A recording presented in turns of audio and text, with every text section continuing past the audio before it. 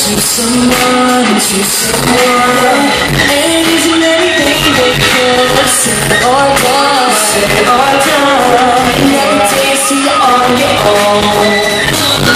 See what they say